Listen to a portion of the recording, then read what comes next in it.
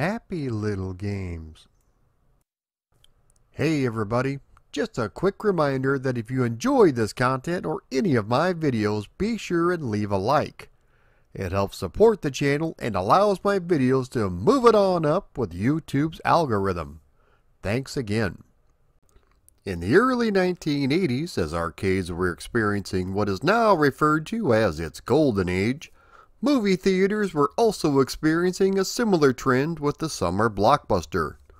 The must-see movie of the summer trend started with 1975's Jaws and continued to produce franchises such as Star Wars, Star Trek, and Indiana Jones.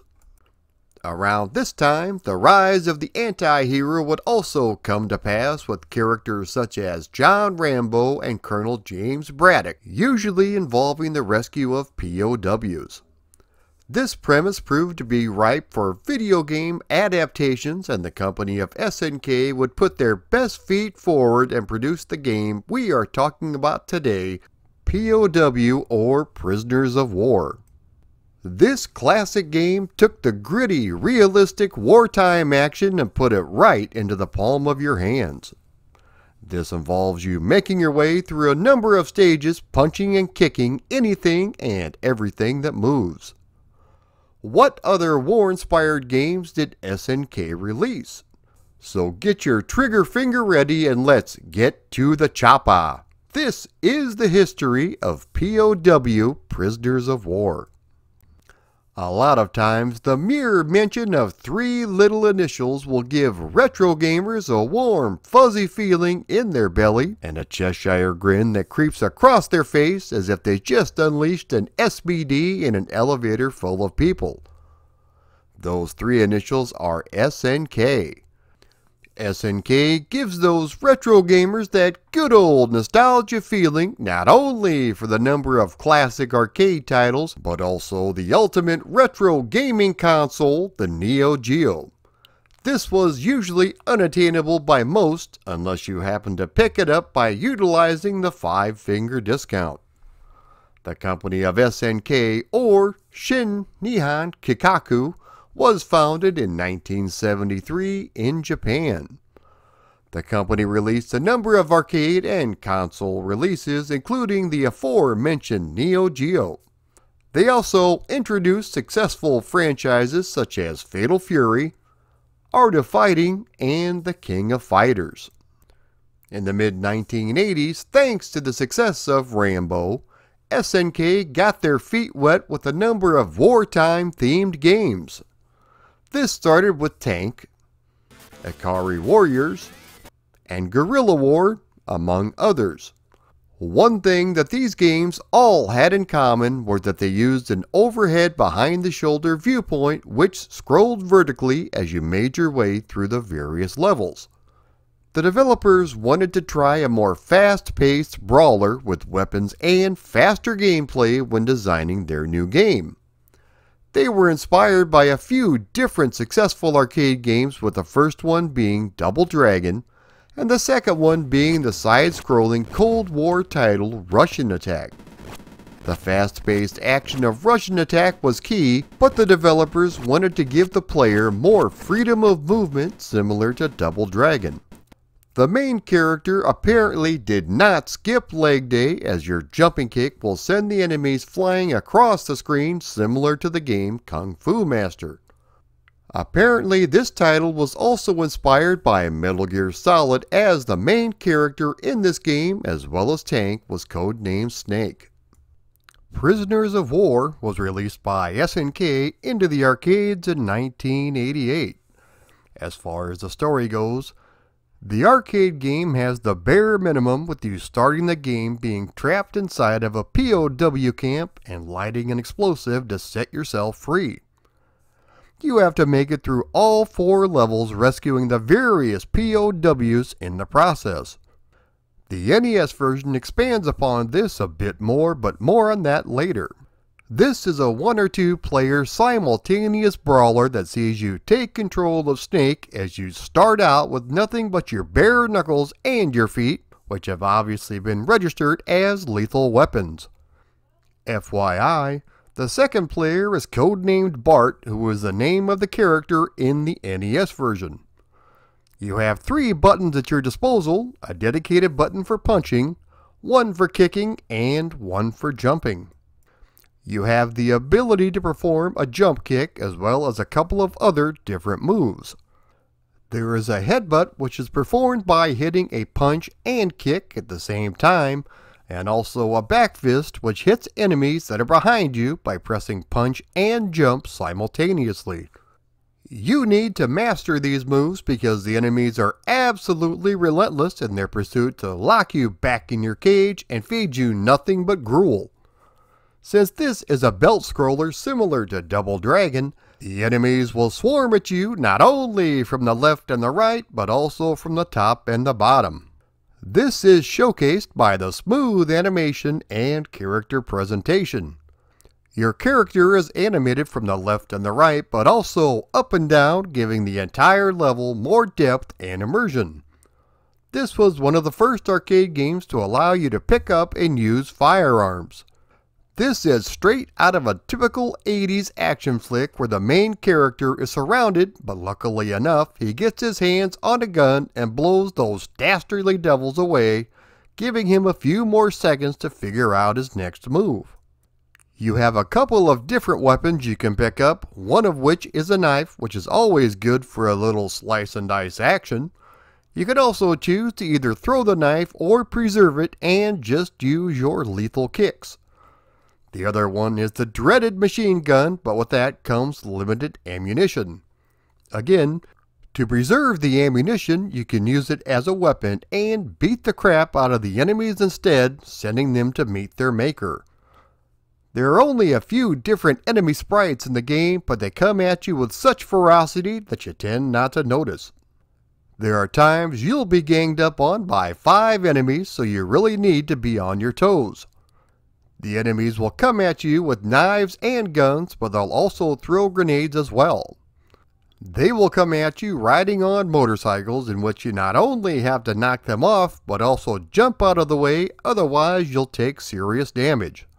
Again, straight out of an action flick and pretty cool to see, especially back in 1988. Enemies are crawling out of the woodwork and will also drop in from helicopters in an attempt to take you out. Occasionally, you'll have to climb ladders and jump long distances, which helps break up the monotony of the levels. As I mentioned, the graphics and animation in particular are really well done, from the explosions to how smoothly Snake and his enemies move around. The music is catchy and the sound effects have a nice weight to them. There are only four levels in the game, but they are extremely long and action-packed. In between each level are brief cutscenes that explain the story just a bit.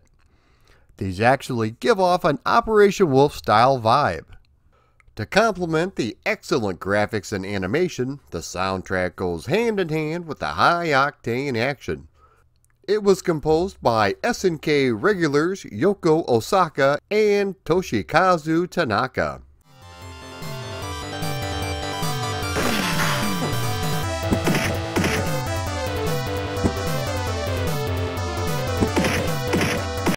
There are four levels or missions you have to complete, and they are Escape from the Prison Camp.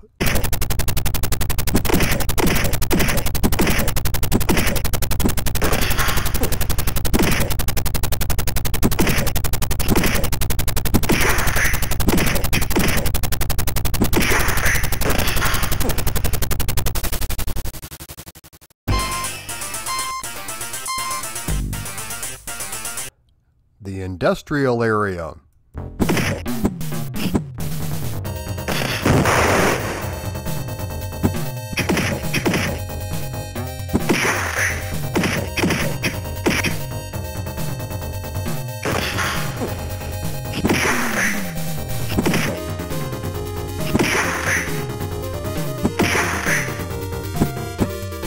Guerrilla attack.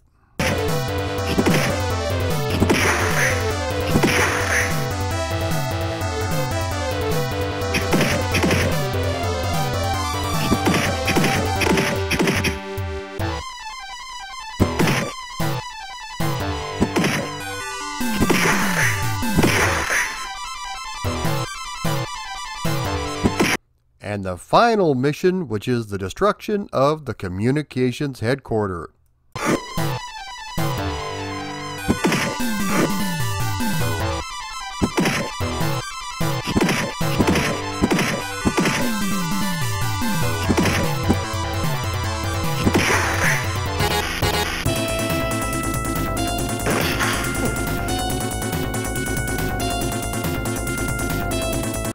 Before you reach the final level, you radio in a chopper and make your way to the clearing. If you can dispatch all the enemies, you board the chopper and the game is over.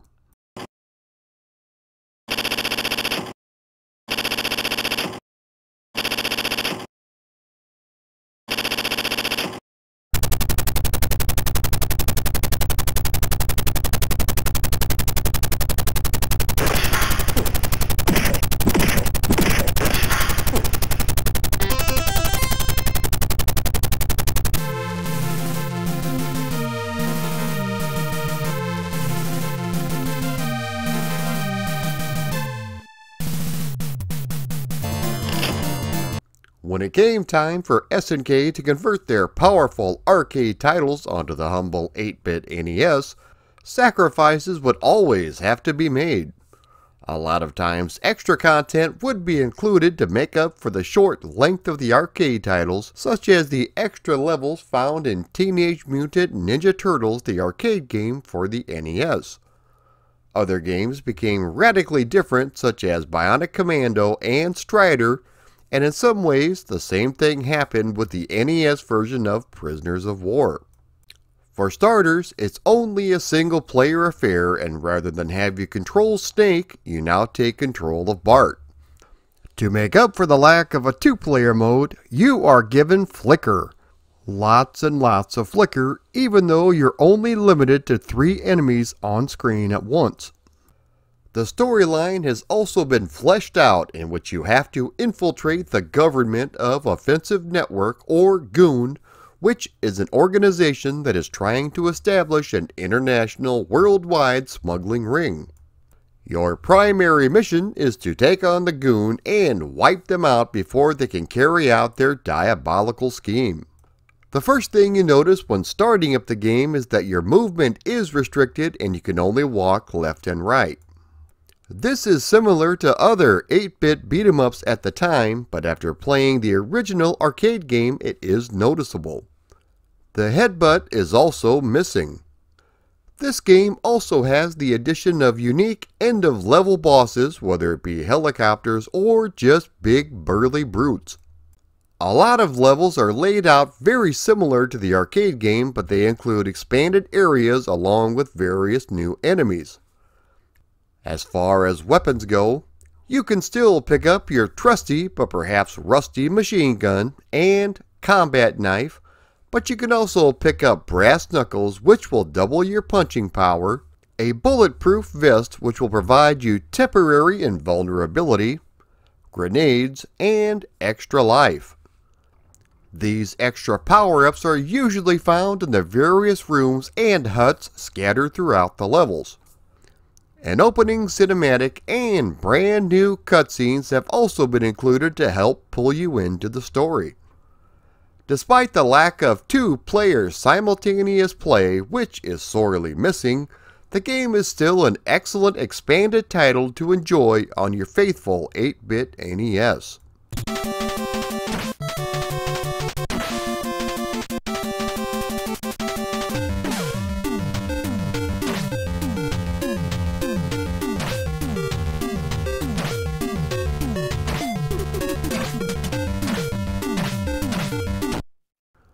The arcade game was also included as part of SNK's 40th anniversary collection. An unofficial remake was released entitled, What Else? POW Remake for Windows. This added a number of new features, bosses, weapons, as well as new missions and cutscenes.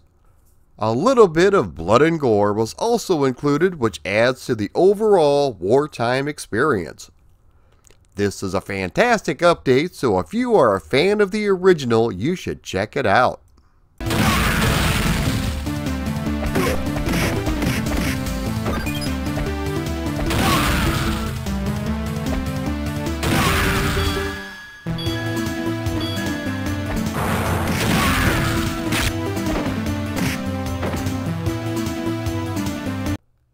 This was always a fun game to play and something about it really stood out to me back in the day. I'm not sure if it was the smooth animation, the fun gameplay, or just the entire package, but it was something I really enjoyed playing, especially in two-player mode. If you like this video, be sure to like, comment, share, and subscribe. Also, if you would like to support me on Patreon, please click the link below. If you would like to contribute but not sign up for my Patreon, you can always click the donate button up above. Thanks everyone for watching.